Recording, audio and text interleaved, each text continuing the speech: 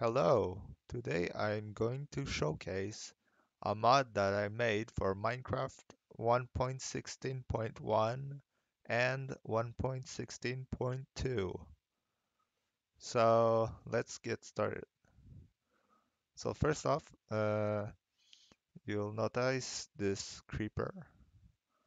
Now you can uh, take the coordinates. Now yeah, the mod doesn't do this on its own. You need to get the coordinates by yourself.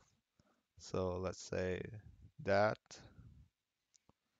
And since we are going in the corner over here, let's take the coordinate of this block 2.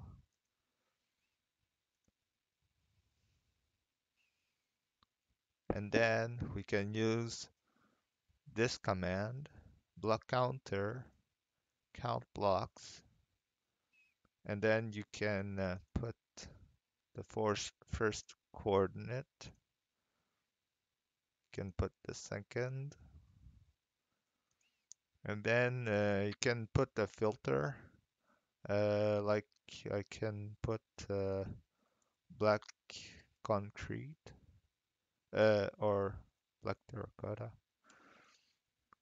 So yeah, now it counted the amount of black terracotta that is in this build. So it counted from here to the other uh, side over here.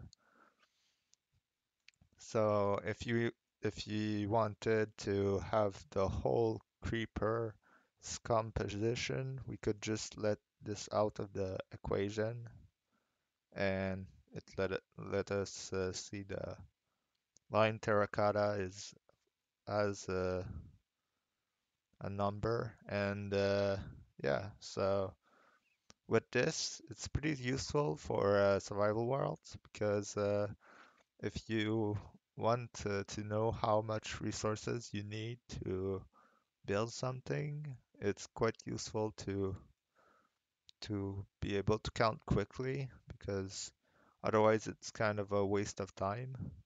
So this is basically why the mod exists. It's basically there to uh, count the amount of blocks so that then you can make the build with uh, the amount of blocks that you got from that. And just to show you that uh, this mod really works with the exact amount of blocks. We can take the coordinates of these four stone blocks. So this and this.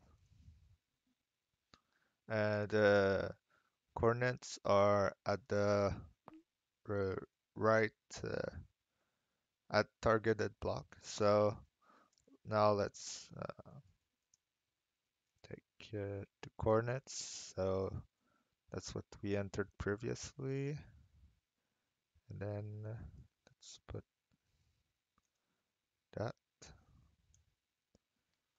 And yeah, so it counted for air because there are two air blocks and there are two stone.